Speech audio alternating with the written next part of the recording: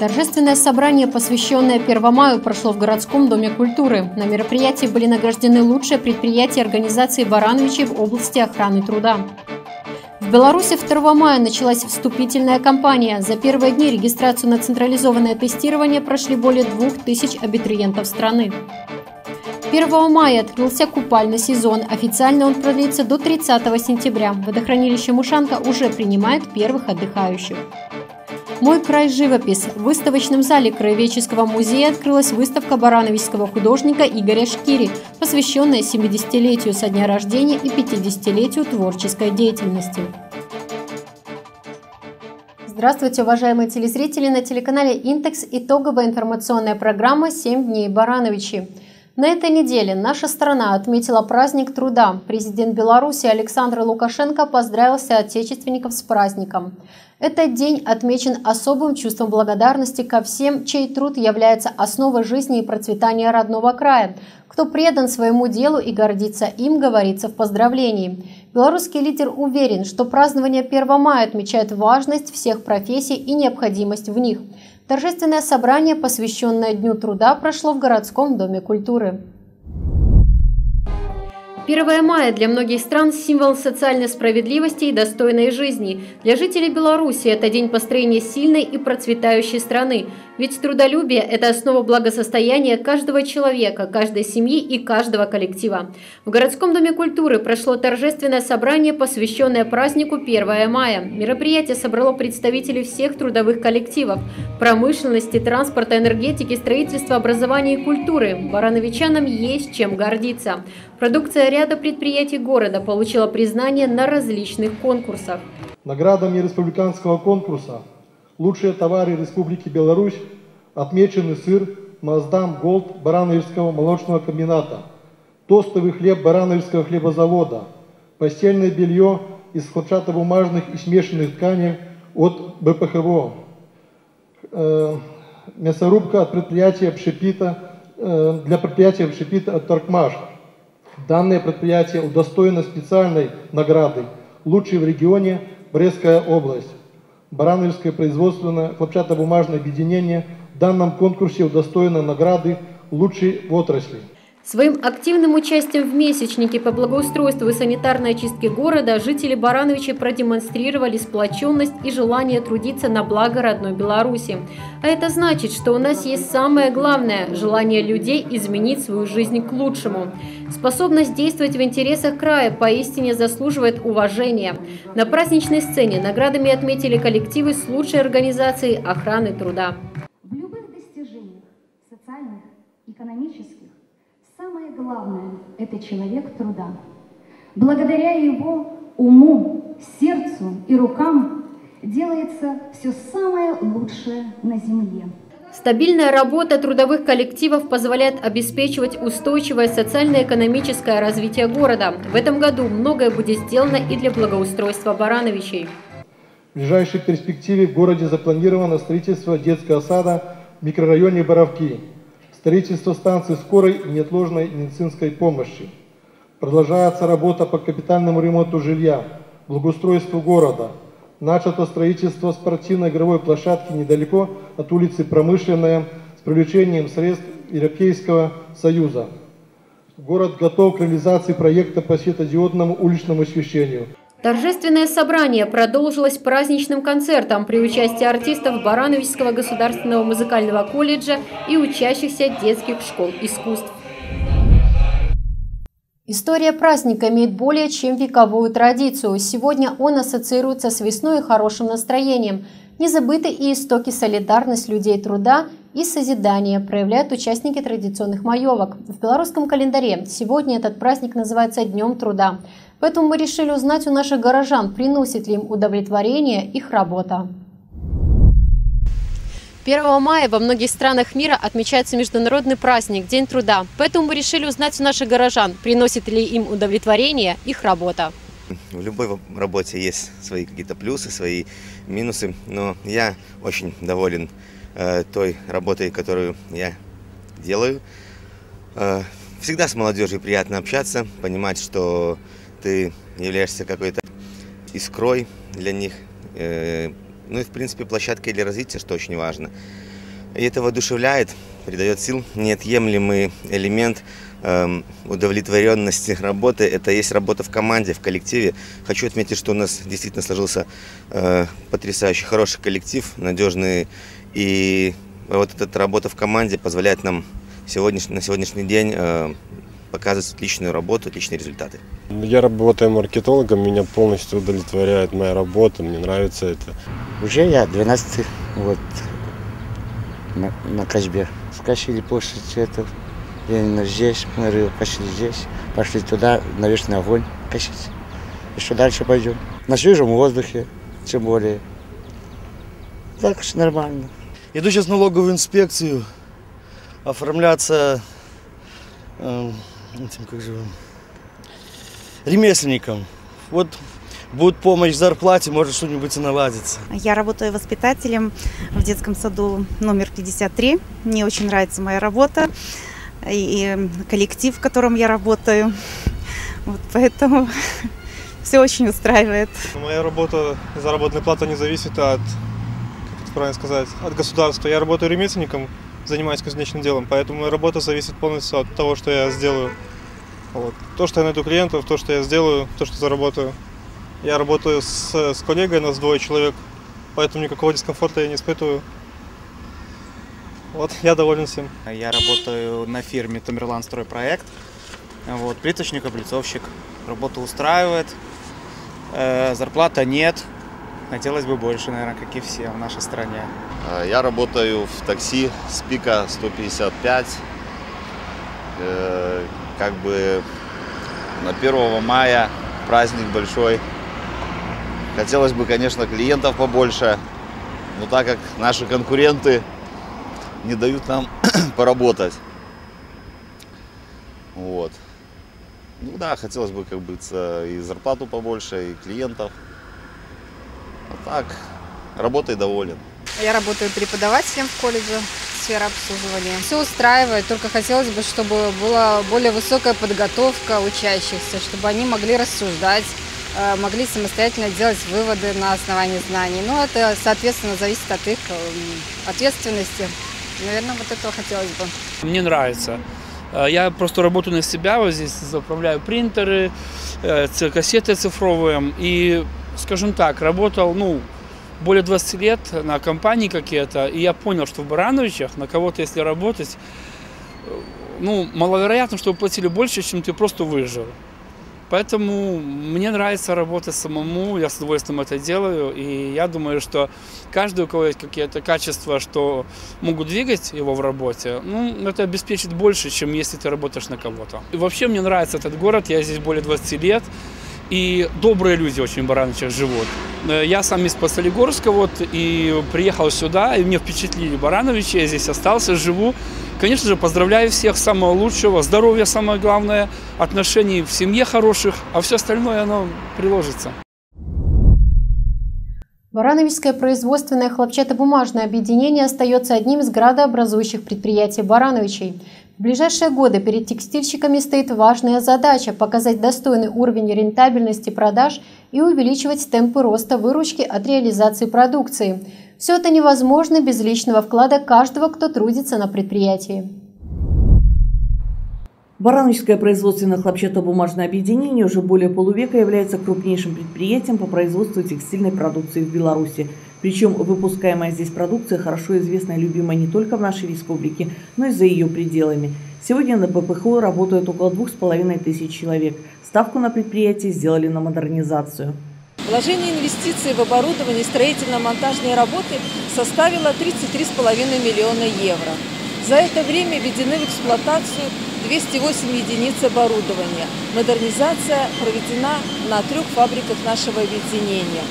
Новые прядельные машины последнего поколения позволили увеличить выпуск пряжи на одного работника фабрики с полутора тонн до трех тонн в месяц и повысить производительность труда более чем в два раза, а также минимизировать долю ручного труда в производстве пряжи и автоматизировать весь процесс получения пряжи. Высокое качество производимой продукции позволило предприятию значительно увеличить поставки продукции за рубеж. Удельный вес экспорта по итогам 2017 года 40% в объеме реализованной продукции. Рост составил почти 160% к уровню 2016. В планах предприятия продолжить активное продвижение на зарубежные рынки. Сейчас на БПХО реализуется инвестиционный проект разработки и внедрения технологий цифровой печати на хлопчатобумажной ткани для постельного белья. Производительность нового оборудования выше в два с половиной раза, что позволило э, выпускать ткани на одного работника э, в 2,4 раза в месяц выше. Внедрение жаккардового качества позволило выпускать ткани со сложными ткацкими рисунками постельного и столового назначения, значительно обновив ассортимент производимой нами продукции. При помощи установленного сложно-технического оборудования в отделочной фабрике сформирован технологический процесс с возможностью обработки ткани шириной до 3,2 метров в готове различными видами а, обработок. Предприятие успешно реализует и другие проекты по декоративному текстилю, производству тканей для одежного ассортимента, тканей для рукоделия. На нашем предприятии много внимания уделяется вопросам охраны труда. Так, в 2017 году на э, улучшение условий охраны труда э, затрачено 294 тысячи рублей. Э, работники, работающие на потенциально объектах, опасных объектах, прошли обучение и проходят обучение.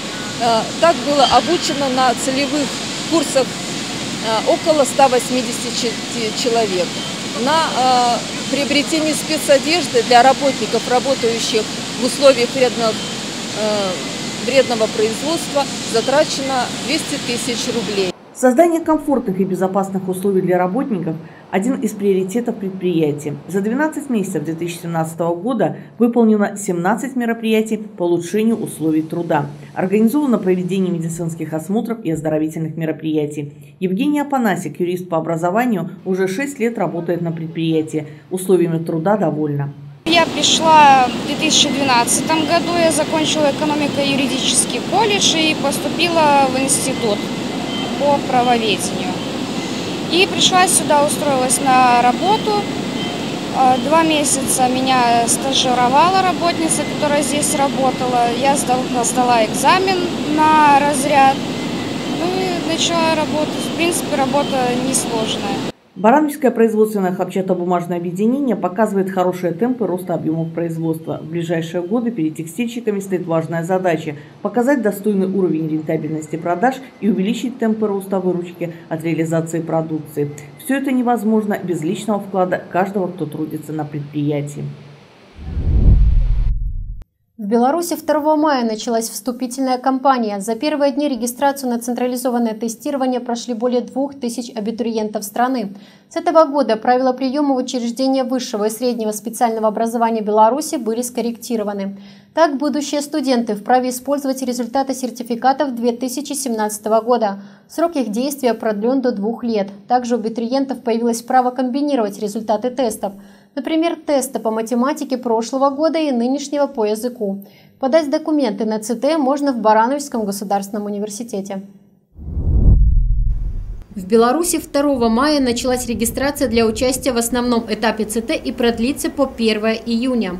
Для регистрации абитуриентам необходимо предъявить документ, удостоверяющий личность, подать заявление на одном из государственных языков Республики Беларусь, оплатить прием и оформление документов для участия в ЦТ в размере 0,1 базовой величины за один учебный предмет. Всего в вузы нашей страны в текущем году планируется принять 55 тысяч студентов. В учреждение профтехобразования около 31 тысячи.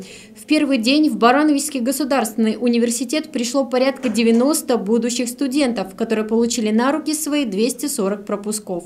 Каждый день примерно одинаковое количество к нам приходит. Это и жители города Барановичи, это и приезжие э, ребята. Э, в целом я думаю, что где-то около четырех с половиной тысяч человек будет проходить тестирование у нас на базе университета в этом году. Э, примерно столько же, как и в прошлом. С этого года срок действия сертификатов ЦТ увеличен до двух лет. Это значит, что во время нынешней приемной кампании в ВУЗы абитуриенты могут использовать сертификат централизованного тестирования с лучшим результатом за 2017 год. Также у выпускников колледжей, окончивших учебное заведение с красным дипломом, есть возможность поступать в университет на смежную со своей специальность без вступительных испытаний. Абитуриенты могут зарегистрироваться для прохождения четырех предметов, в том числе и, например, по русскому и белорусскому языку. В большинстве своем выбирают три предмета для прохождения тестов. Ну, определенная часть берет четыре предмета. Некоторые берут один предмет. Наверное, те ребята, которые поступают в колледже. Э, также в этом году в приемную комиссию можно будет подать сертификаты тестирования, полученные в предыдущем, 2017 году. График работы пунктов регистрации следующий. В рабочие дни с 9 до 19 часов, в субботние дни 12 и 26 мая с 9 до 18 часов вечера. Водохранилище Мушанка принимает первых отдыхающих. В Беларуси с 1 мая открылся купальный сезон. Официально он продлится до 30 сентября. Готовность всех зон отдыха была обеспечена к 25 апреля. Сотрудники Барановичской спасательной станции «Освод» напоминают, что купание в неустановленных для этого местах, употребление алкогольных напитков, невнимательность со стороны взрослых к своим детям приводит к печальным последствиям. Поэтому зачастую благополучие купального сезона не всегда зависит от работы ответственных служб, но и от поведения самих любителей активного отдыха. Все городские пляжи уже приведены в порядок, поэтому, несмотря на то, что температура воды водохранилища Мышанка не превышает в эти дни плюс 17-18 градусов, первые отдыхающие уже открыли здесь купальный сезон. Однако от купания пока стоит воздержаться. Сейчас прогрелся только верхний слой воды, а на глубине одного метра она все еще остается холодной. Длительное пребывание в ней может вызвать судороги и привести к несчастному случаю. Даже опытные пловцы не застрахованы от утопления. Для того, чтобы предотвратить трагедию, на пляжных территориях работают спасательные службы. Со 2 мая на наших городских водоемах, озеро Светиловское, озеро Жлобинское, начали функционировать сезонные спасательные посты, э, которые работают с 9 до 21 но, к великому сожалению, э, на этих водоемах купание запрещено. Может быть, к сожалению, может быть, к радости. Почему? Потому что там очень большие глубины, очень большие перепады глубин. И эти озера, они прежде всего у нас в городе как ландшафтные, первые дни официального открытия купального сезона от отдыха на воде стоит воздержаться. Он может оказаться небезопасным. Особенно подвержены риску дети, которые приходят на водоемы без родителей, мужчины и люди в состоянии алкогольного опьянения. Сведению, утопление – третья по значимости причина смерти от непреднамеренных трав в мире. За четыре месяца текущего года в Брестской области утонуло шесть человек, из них один ребенок. В Барановичах также зарегистрированы несчастные случаи еще до начала купального сезона. Если бы не дежурная смена, трагедии было бы не избежать. Одна девочка плохо плавала, вторая ее уговорила, чтобы она поплыла. И одна доплыла, доплыла до тумбы у нас, а вторая не, немножко осталась ей метра полтора. Ну, начала уже махать руками, кричать, начала, короче говоря, тонуть. Ну, благо она находилась совсем рядом с тумбой, ее сами же и вытащили. Наши ребята на катере подошли, ее оттуда сняли, она была очень испугана.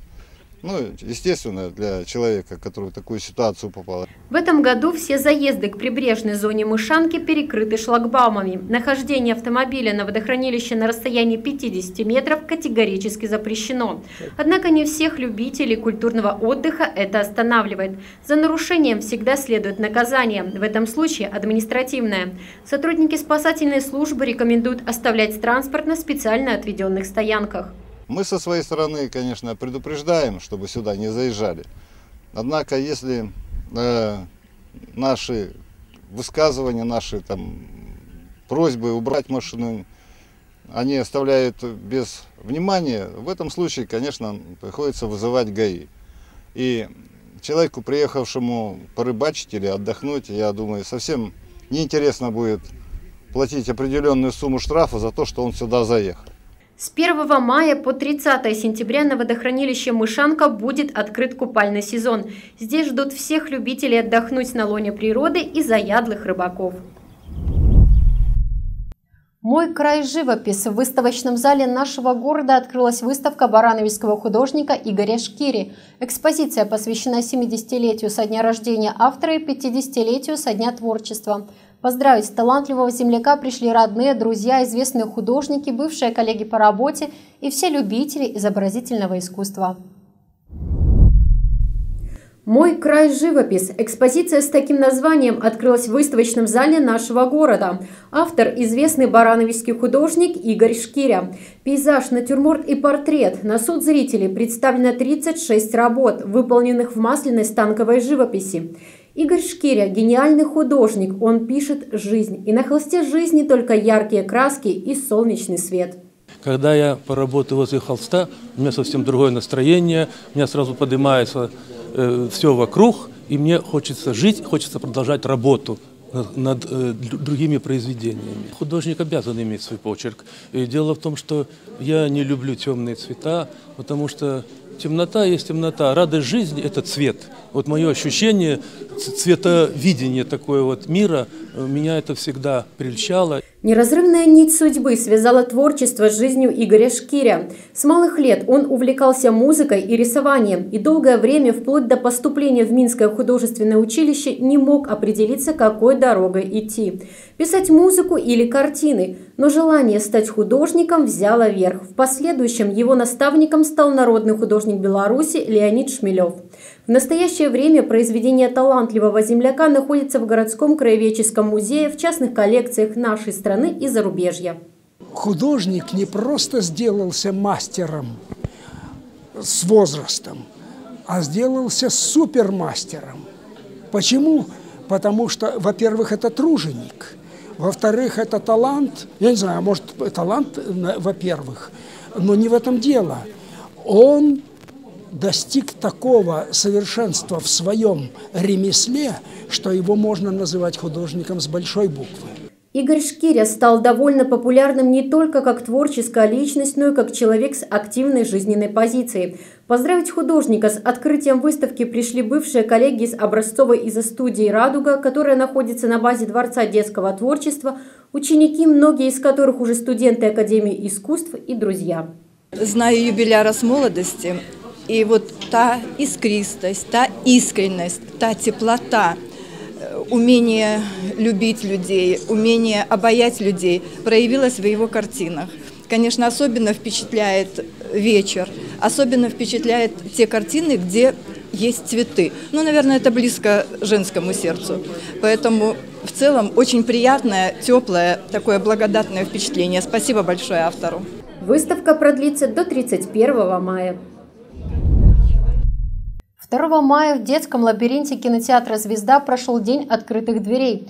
Детей ждали активные развлечения, которые гарантируют безопасность детского отдыха, оставляя при этом простор для веселья.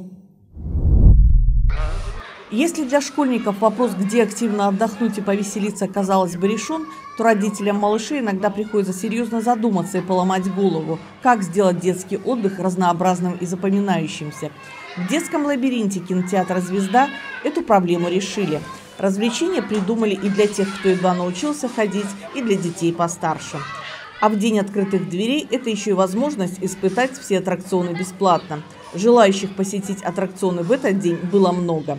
Детский аттракцион «Мультяшки» в кинотеатре «Звезда» – аттракцион, в котором есть все.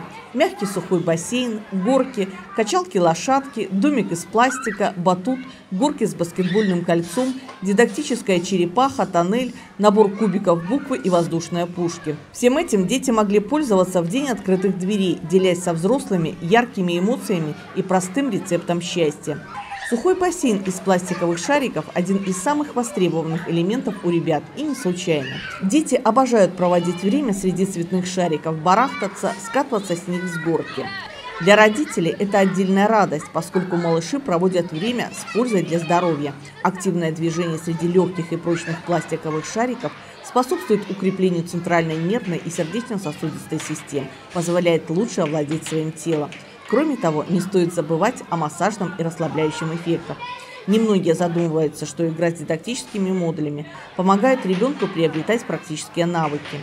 Динамичные и захватывающие баталии надолго увлекали детей, позволяя родителям спокойно отдохнуть в прилегающей к аттракциону рекреационной зоне.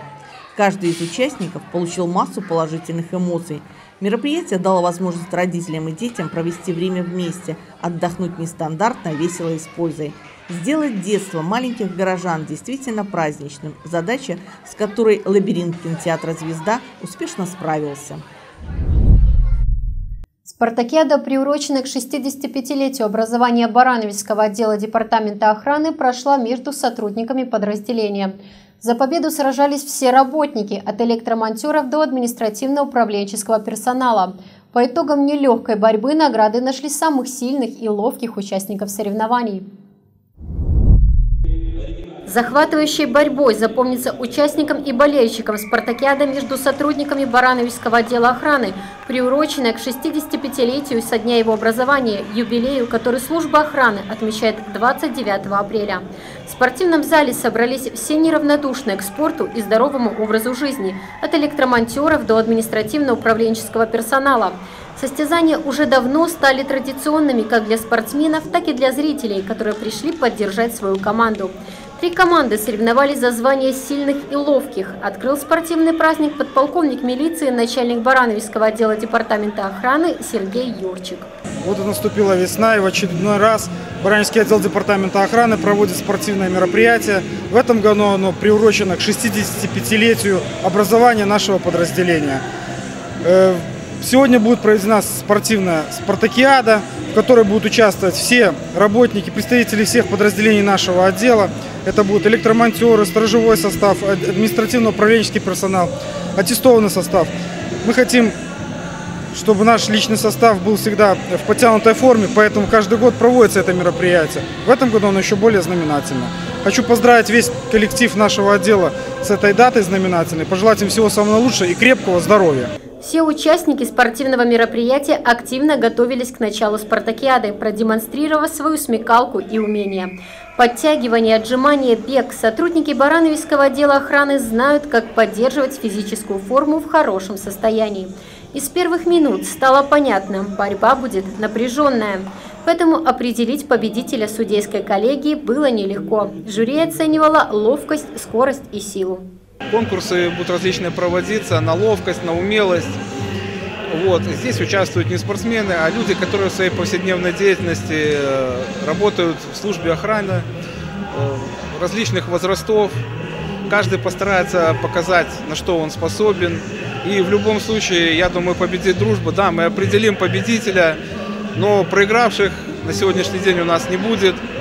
Все, думаю, отдадутся насколько могут свои силы, желания, старания. И в дальнейшем ну, будем проводить такие мероприятия в целях популяризации спорта, здорового образа жизни. Участие в подобных соревнованиях – это ступенька в развитии профессионализма каждого работника подразделения.